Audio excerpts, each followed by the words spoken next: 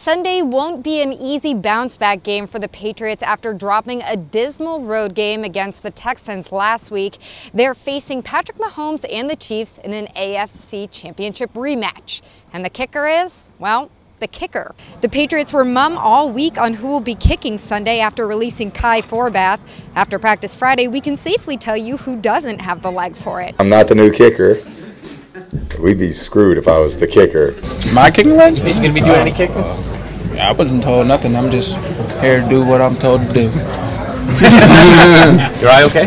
yeah, I had some in it. And regardless of who actually kicks, by the time you're watching this, the Patriots may have already reinstated Nick Folk or found another kicker. Patrick Mahomes will be lining up and looking for revenge from last year's loss. I think he sees things that, you know, uh, sees plays to make that a lot of their quarterbacks wouldn't see.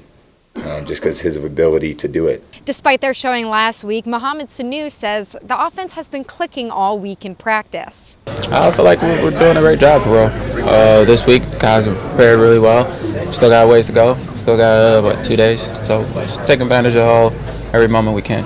We'll see just how well they're gelling Sunday at 4:25. Till then, reporting from snowy Foxborough, Meghan Ottolini, the Boston Herald.